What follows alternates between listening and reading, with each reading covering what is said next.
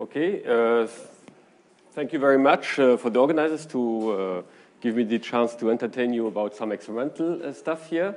So it's not the first experimental talk, so you, are, you uh, know what you're exposed to, more or less.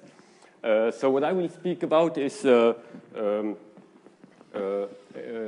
things we do in, in our lab in Nice when we basically use laser-cooled atoms and we throw photons at this large cloud of cold atoms. And so we want to uh, understand what's going on. And many different things go on. And uh, just to show you uh, uh a range of topics which can go on, and uh, this conference going from uh, atomic scales to astrophysics scales, I give you some examples where we hope that we can bridge this gap. So clearly we will use atomic physics information. So this is a cloud of cold atoms we use. It's larger like my fingernail here, one centimeter typically. And uh, we can study many things. I will discuss uh, uh, quite a lot today about what happens if you want to understand the Anderson localization of light and how this might connect to long-range interactions. Uh, but we also can look at what happens if you look at the motion of the atoms, and this is a, a kind of movie what can happen if you throw photons in some regimes, and uh, uh, this is a cloud of cold atoms suspended in vacuum moving along. I will discuss shortly this. we also can study how photons jump around, and this gives rise, uh, rise to uh, Levy statistics, which is also connected to some uh, uh astrophysical uh, range, and random lasing, where we want to see if random lasing exists in astrophysics. So we do lot, many things where we try to do experiments in the lab, but more and more we try to see what type of systems or configuration can exist in astrophysics, but not all of them connected to long-range physics. Okay, so the first thing I I want to uh, explain briefly here, not the main part of my talk, but uh, uh, because this is something we want to investigate in, in future um, in more detail, is what happens on the motion of the position of the atoms if the photons bound, bounce around in the cloud of cold atoms. So this is my cloud of cold atoms. So consider that you are all atoms, and I throw photons at you. What will happen? So uh, one first thing which will happen is that this photon, one photon jumps from one atom, and then it jumps to the other atom. But as the photon jumps from one atom to the other atom, it will push away the other atom because there's radiation pressure. It's like uh, if you have the, the, the light of, this, of, the, uh, of the sun going on the uh, tails of the comet, it will push away the tail of the comet. This is the same thing which happens here. So you if I have a photon uh, jumping from uh, one atom to the second atom, it will push away this atom. And so it will push it away uh, proportional to the intensity of the light arriving on the second atom. And the intensity arriving on the second atom is the power which is scattered by the first atom divided by uh, the distance squared here. So this uh, leads to a, repulsive uh, interaction between the atoms, which scales like a Coulomb force. And so this is uh, well known for more than 20 years now in our community. And uh, one consequence of this is that uh, if you have a, a, few particles in the trap, you have a small size of uh, uh, millimeter size, let's say. And if you, have, if you, want to put more and more atoms in this trap, uh, because of this repulsion, the traps get bigger and bigger and bigger. And so this you can easily see. This has been seen. And uh, so this can be mapped on, to some extent to one component plasma situation. It has been considered uh, uh, detrimental and very bad for Bose-Einstein condensation. So this is why many people in our community didn't like this type of physics. Uh, but we take on this type of physics to study these long-range uh, mechanical forces. Uh, something we uh, found in our uh, lab is that uh, as we load more and more atoms in this cloud, at some times this cloud becomes unstable and it oscillates. The size oscillates in time. And this is a situation which exists in astrophysics. There are some stars, Cepheids, uh, which oscillate in time. There's uh, uh, an unstable balance between the gravitational pull to get a, a, a, small cloud and the radiation pressure in the star which blows up the star. And we get similar things here, and we get an oscillating behavior here. There's an unstable regime we find in this cloud.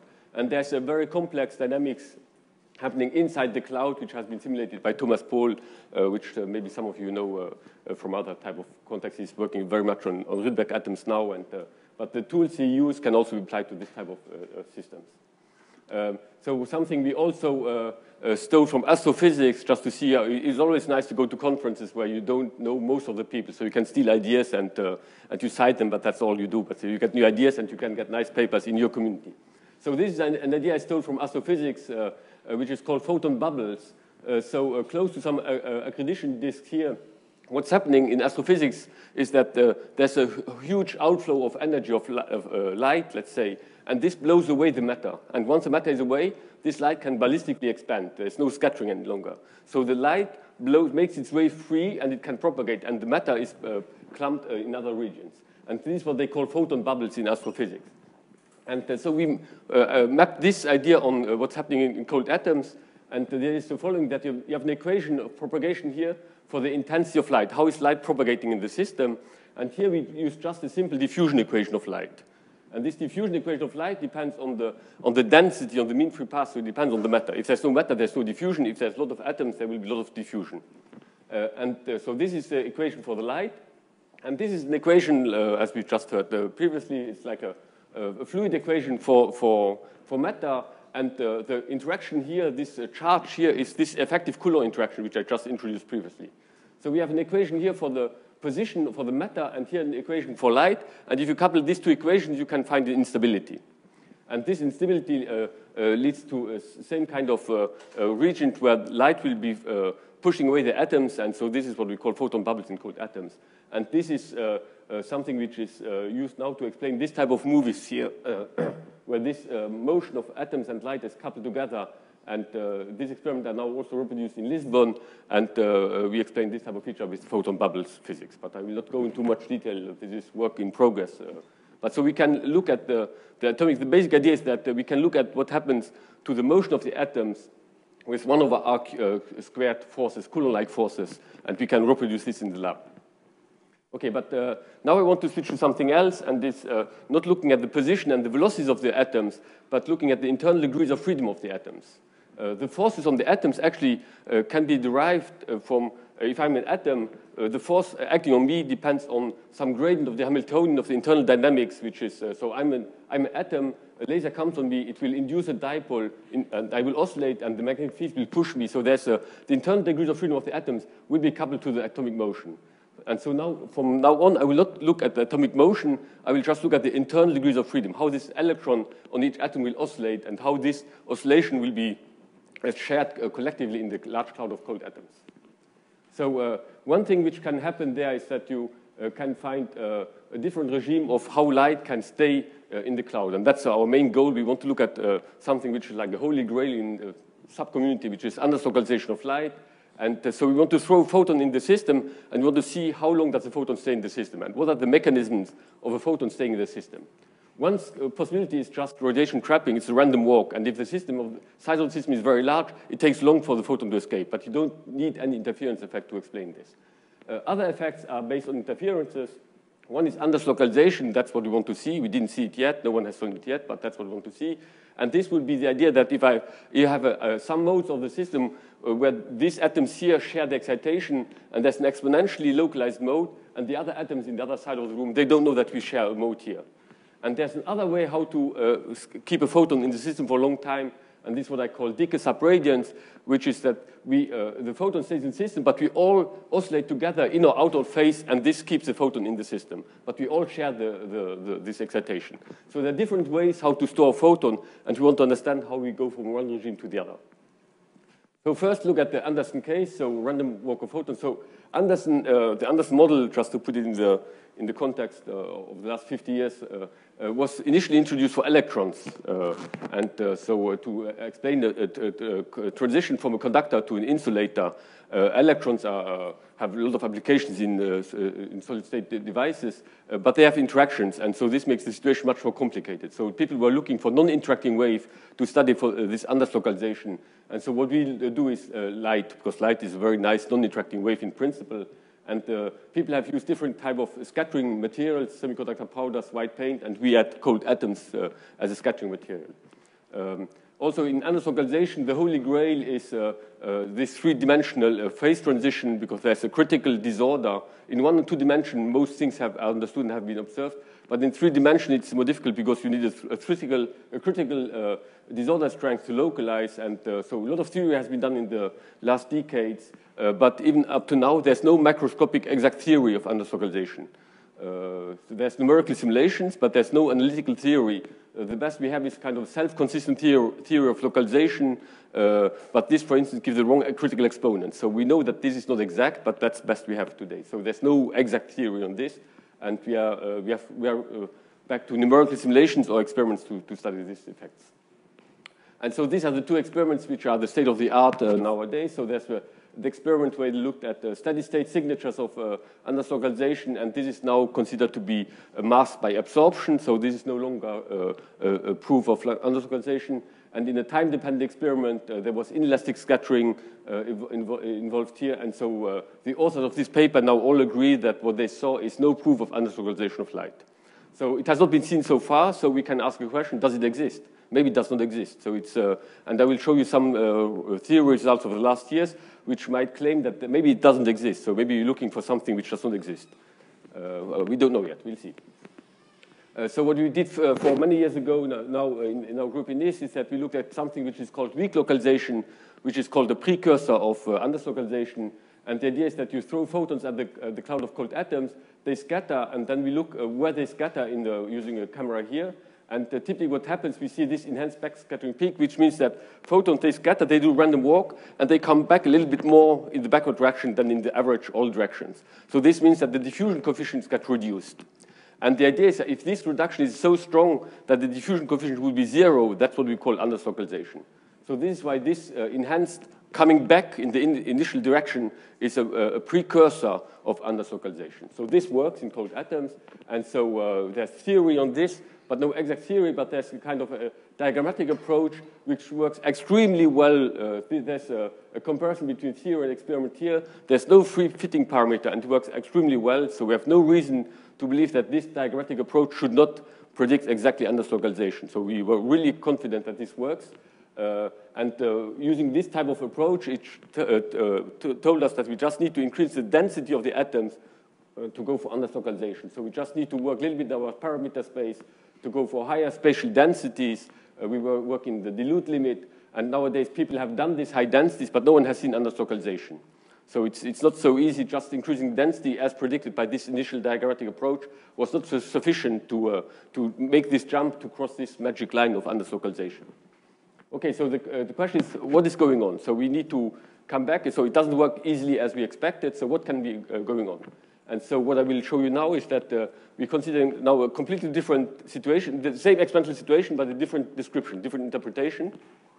And we now consider uh, uh, light as a scattering wave with a 1 over r uh, outgoing wave. And so this is long-range uh, part here, which will be important in, in what's coming, which going on. And maybe this is the key of the difference between Anderson localization and super and subradiance, uh, what is going on in the experiment.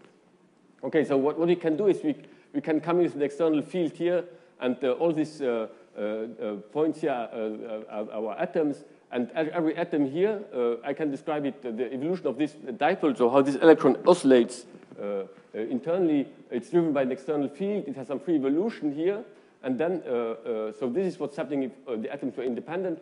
And then I have this extra term here, which is uh, describing the field scattered by the dipole M going to the dipole J. So this is the rescattered field, which couples onto this dipole here. So this is like a, a self-consistent equation here.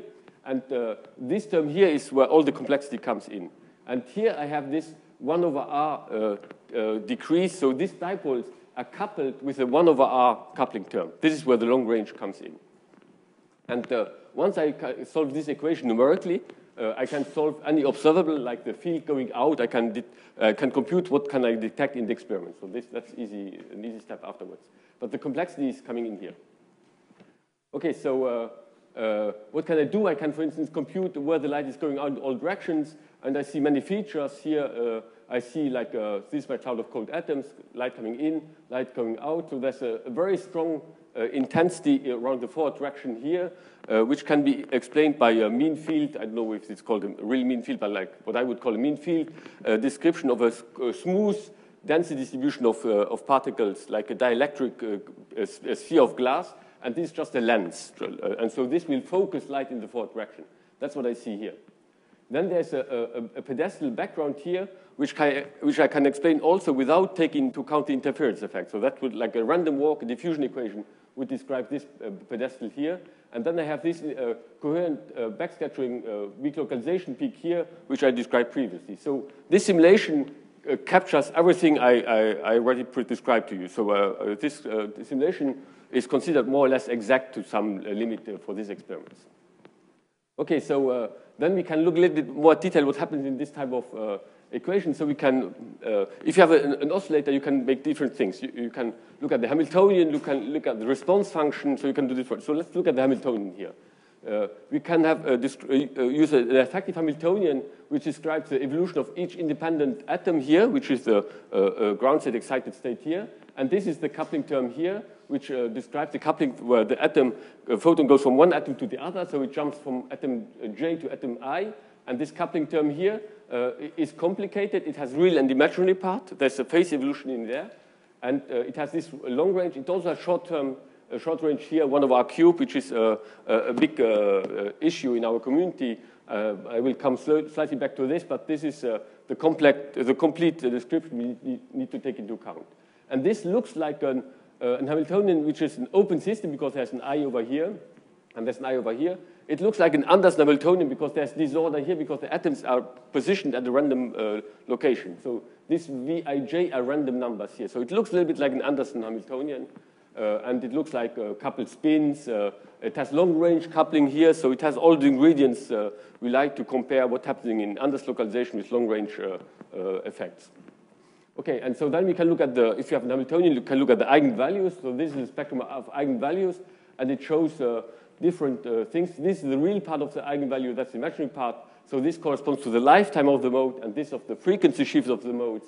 And what we can see is that in the dense limit, uh, if you take into account the near field effect, or if you don't take into account just the far field here, if I add near field here, the distribution of these eigenvalues is completely different, uh, which is not a surprise. If atoms are very close together, the near field is important. So that's, uh, and this can drastically affect the distribution of, uh, of uh, eigenvalues. And this will have a consequence, uh, as I will show you later. yeah, so here. So what we can do is we can use this eigenvalues here to make a statistical analysis of what's expected to happen. And so we can look, for instance, if I have all these modes, if these modes overlap or not. And there's a criterion which uh, is called kind of uh, overlap criterion or Thouless criterion, which uh, tells you if this overlap is uh, increasing or decreasing with the, if you increase the system size, you go to localization or you go to metallic regime, conductor regime. And uh, so what uh, has been shown by Sergei Skipetrov and what we also confirmed in our numerics is that if you take the real description with the near field terms, uh, there's no phase transition for light. So this is like a, a, a, like a no-go theorem. There might be no localization of light in this type of systems, which is bad for us because that's what we were looking for for many years.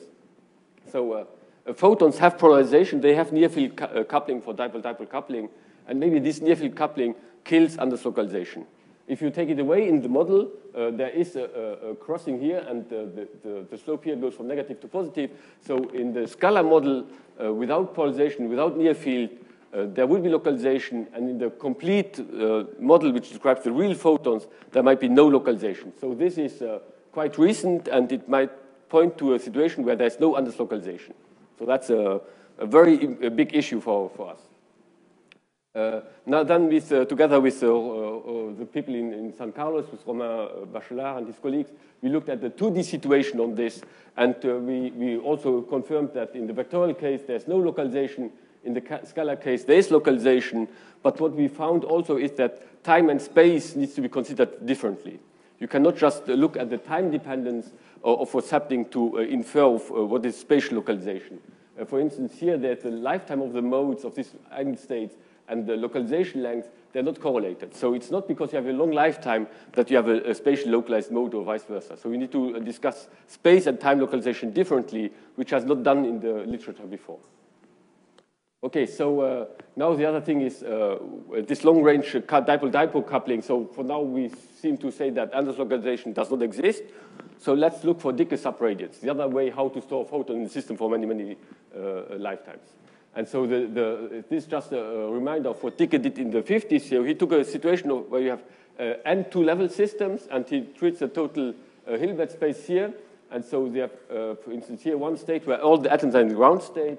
Here there's one state where all the atoms are in the excited state.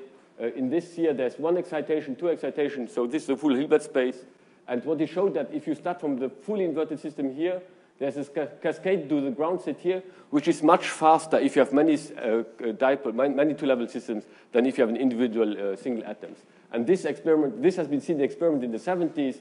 Uh, so this is called superradiance. So this cascade here uh, uh, grows very quickly because of, there's a stimulated emission process uh, in this cascade. So this has been seen. Uh, this is uh, working well. So what we focus on now is on the single excitation here. So we don't start from a fully inverted system. We just want to have one excitation in the system and see how this propagates and stays in the system. And so even in this case here, uh, there's an n uh, time enhancement for the decay rate of the symmetric state. So if you have a single excitation, and if all this excitation were in phase, let's say, then this would decay n times faster than a single atom. And uh, this, uh, we have to pay a price for this. This means that all the other states here, they do not decay. And so they have a long lifetime. So this is what they, I call subradiant state, and this fast decaying state is superradiant state. And uh, so this has been done by the, in the Dicke paper in the 50s. Uh, we extend this now to a regime where the size of the system is much larger than the wavelength. And so this scaling n is no longer uh, scaling with the particle number, but it's scaling with the particle number divided by the number of optical modes available in the system. Which means if, I, uh, if we have all uh, a photon to get uh, out of the room here, uh, it depends on how many doors do we have to get the photon out of the room. And how many doors there are, it depends on how many lambda squares I can fit on the, on the surface of on the, on the roof. And so this number of optical modes here, and so we define a cooperativity parameter, which is the number of atoms divided by the number of optical modes which can go out of the system. And so this is the same as in cavity QED. It's number of particles which share the same mode. And this number here, I like it very much because this is also the on-resident optical thickness is something I can measure in the experiment. So this is a, a, a theory number, a criterion which can be experimentally measured. So that's why I, I, I like this number very much. Okay, so uh, subradiant, uh, has, has been studied in the past for two particles. If you take two atoms close together, uh, then the, the two dipoles can either oscillate in phase or out of phase. And uh, there's been experiments in the 90s uh, done by uh, the group of Brewer where they could take two ions and put them very close together. And they saw a change in the lifetime. So this dotted line, here is the single atom lifetime. And they saw a reduction of this light, lifetime if the atoms come close together. This means there were, uh, it's one state which oscillates out of phase. And that's what they saw. But this works uh, if the atoms are very close together. It's not exploiting the long-range nature of this interaction. So uh, there's been one experiment where they uh, claimed some subradiance in forward direction, uh, but uh, it was like a pencil ex excitation. So the laser comes here, and in the forward direction, they saw a little a slight change. But the main problem here is that photons can escape in the other directions, and then they do not live in the system for a very long time. If you want to make a, a, a situation where the photons stay in the system for a long time, there needs to be no exit door at all, in no direction. So uh, you need a three-dimensional uh, spherical or cubic uh, situation. So uh, this uh, is difficult to observe. Uh, it, is, it, does not require large spatial density. It requires a large uh, uh, cooperativity parameter. But so you can have many, many atoms far away, uh, but so, so, the only parameter is the optical density. It's not the spatial density. So you can, if you want to have a large optical density, even if the atoms are far away, you just, just need more particles. But you can create a large system without having atoms very close together. So they don't feel the near field interactions, but you need the, the, the, price you have to pay is you have to have more and more particles in your system. And so uh, that, that's what we can do. So we, we need a, a, large optical thickness, and we exploit this 1 over r long-range coupling. That's what we, what we exploit in our uh, situation. And so we did some numerical simulation. So the idea is that you start with the ground state, and then you come with a laser beam. You excite it mainly to this superradiant state, and there's some coupling to this uh, subradiant metastable dark states here. And then we switch off the laser, and then we want to see how the light comes out. And what we computed here is that we expect a faster decay here, and then some tail here, which would be the slow decay of the subradiant states. And so uh, uh, we have to distinguish subradiance from Anderson localization and from uh, random walk. And there's some scaling laws how this time scale should scale. So subradiant should scale like this cooperativity parameter, which I just introduced. Radiation trapping is, would scale like the optical uh, thickness at the laser frequency squared, and Anderson localization may be like an exponential. So that, uh, but there's no precise theory on this.